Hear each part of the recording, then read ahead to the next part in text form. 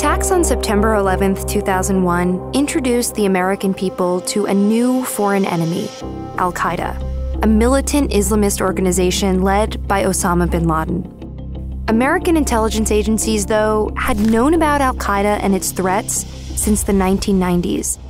Yet, they failed to adjust their policies and share intelligence that could have prevented the 9 11 attacks. Why?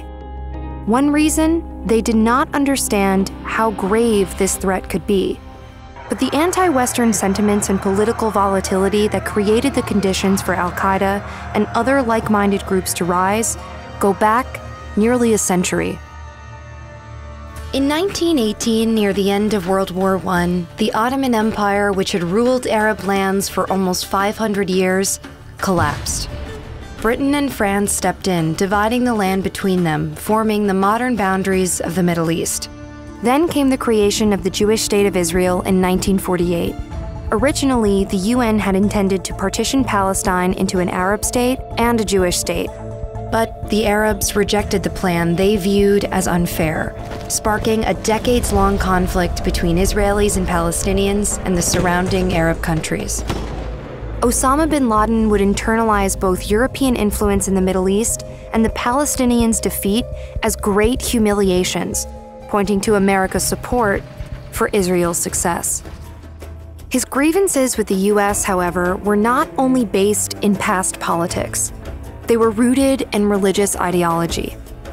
Bin Laden followed the teachings of Sayyid Qutb, an Egyptian thinker credited with inspiring today's global jihadist movement. In the late 1940s, Qutb spent two years studying in the US, where he became disgusted by what he perceived as the depravity of American culture.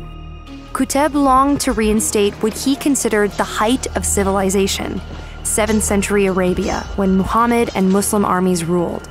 How? Qutb argued all Muslims must take up arms against the non believers, which included any Muslims who rejected his brand of Islam. This philosophy would be used by bin Laden and Al Qaeda to justify mass murder.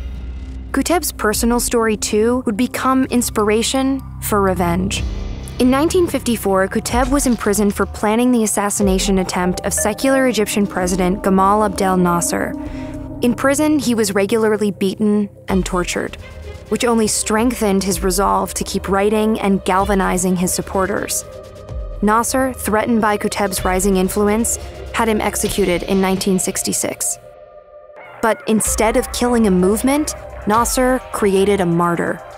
Qutb's story and his book Milestones would become an inspiration for generations of extremists, including Ayman al Zawahiri, who would go on to become bin Laden's right hand man. Born in 1951, Zawahiri possessed strong Islamist sentiments from a young age. At just 15, he founded a militant cell calling for the overthrow of the secular Egyptian government. At 22, he joined the Egyptian Islamic Jihad with the goal of establishing a theocratic Islamic state in Egypt. Like Qutb, Zawahiri would be imprisoned in 1981 in connection with the murder of then President Anwar el Sadat. Zawahiri too would be beaten and tortured in prison. But this only strengthened his extremism. Just a few years earlier, in 1979, the Soviet Union invaded Afghanistan to aid the communists in the Afghan civil war. Bin Laden had been working to help finance, recruit, and train Arab freedom fighters.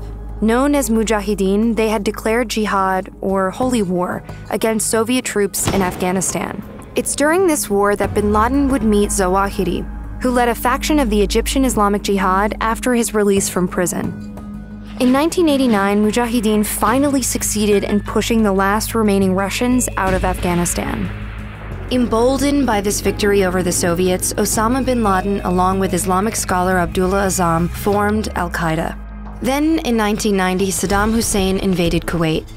The US sent troops to its ally, Saudi Arabia, but the presence of foreign Christian troops in Saudi Arabia, home to Islam's two holiest sites of Mecca and Medina, enraged Saudi born bin Laden. Bin Laden would cite this grievance as a major motivation for the 9 11 attacks. Over the next decade, Zawahiri and bin Laden would work closely together, eventually merging their two terrorist networks. Like Zawahiri, bin Laden had grown critical of the regimes in the Middle East, who maintained relationships with Western nations and failed to bring his idea of a properly Islamic government to fruition. To counter these regimes, bin Laden looked to fight the United States directly, believing violence would force the Americans to withdraw from the Middle East entirely and allow groups like Al Qaeda to take control. Throughout the 90s, the West experienced multiple attacks, including the 1993 bombing of the World Trade Center, the bombings of the American embassies in Kenya and Tanzania in 1998, and the 2000 bombing of the USS Cole in Yemen. While the 1993 World Trade Center bombing was never officially linked to Al Qaeda, the motivation echoed bin Laden's sentiments. With so many warning signs, how then did the most powerful nation in the world fail to anticipate the 9 11 attacks, which seemed so long in the making? American law enforcement agencies fought amongst themselves and lacked coordinated intelligence sharing. They also failed to fully appreciate history, how decades of violence and volatility had created a powerful movement of religious fanaticism and hate determined to take revenge against what they perceived as the source of their discontent the center of Western values and power, the United States of America.